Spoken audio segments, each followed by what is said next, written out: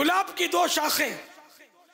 ایک جگہ کوئی قبر کھل گئی اور مردہ نظر آنے لگا۔ دیکھا کہ گلاب کی دو شاخیں اس کے بدن سے لپٹی ہیں اور گلاب کے دو پھول اس کے تتھنوں پر رکھے ہیں۔ اس کے عزیزوں نے اس خیال سے کہ یہاں قبر پانی سے کھل گئی۔ دوسری جگہ قبر کھود کر اس میں رکھے۔ اب جو دیکھیں تو دو اجدہے یعنی بہت بڑے بڑے سانپ اس کے بدن سے لپٹے اپنے پھنوں سے اس کا منہ بمبوڑ رہے ہیں یعنی نوچ رہے ہیں، حیران ہوئے۔ اسی صاحب دل یعنی کسی پہنچے ہوئے شخص سے یہ واقعہ بیان کیا۔ انہوں نے فرمایا، وہاں جہاں سے تم نے اٹھایا، وہاں بھی یہ سانپ ہی تھے۔ مگر ایک ولی اللہ کے مزار کا قرب تھا، وہاں کوئی اللہ کا نیک بندہ، کوئی ولی اللہ وہاں دفن تھا۔ اس کی برکت سے وہ عذاب رحمت میں ڈھل گیا تھا۔ اور وہ بڑے بڑے سانپ گلاب کے پھول کی شکل کے ہو گئے تھے، اور ان کے پھن گلاب کے پھول۔ اس کی خیریت چاہو تو وہیں لے جا کر دفن کرو۔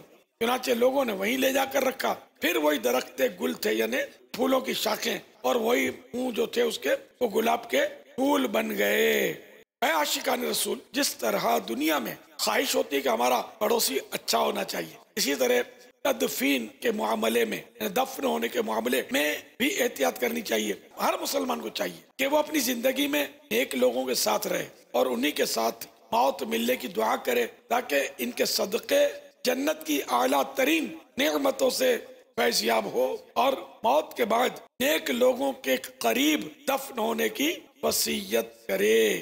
اللہ کے آخری نبی مکی مدنی صلی اللہ تعالی علیہ وآلہ وسلم نے ارشاد فرمایا، اپنے مردوں کو نیک لوگوں کے درمیان دفن کرو، کیونکہ میت برے پڑوسی سے اسی طرح تکلیف پاتی ہے جس طرح زندہ انسان پورے پڑوسی سے اذیت یعنی تکلیف پاتا ہے۔ صلو علی الحبیب، صلی اللہ تعالی علی محمد۔